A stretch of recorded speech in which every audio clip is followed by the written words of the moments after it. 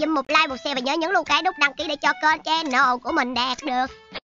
500k rồi sớm nhất nha mọi người ơi. Trời ơi chán quá hôm nay mình quyết định mình phải qua nhà. Qua nhà ai mấy bạn đoán xem đoán xem. Đương nhiên không phải nhà của bà Nabi rồi Bà già lắm ai mà chơi với bà? Đương nhiên không phải nhà của Quyên Ngu rồi Đó chính là nhà của Quốc Hà. Ủa gì vậy? vậy? Đang ngồi chuẩn bị. Bị gì vậy? chuẩn bị giả làm hi hi đi cho mấy đứa con gái trong làng nữa chứ cái gì Ờ đi chơi.